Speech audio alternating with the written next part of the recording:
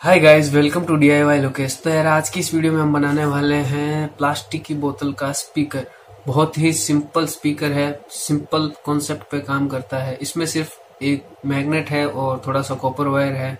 तो ये काम कैसे करता है, ये पहले देख लो। और हाँ चैनल पर नए हो तो सब्सक्राइब कर लेना। वीडियो अच्छी लगे तो यार, इसकी आवाज़ तो बहुत ही कम आ रही है, लेकिन ये वर्क करता है।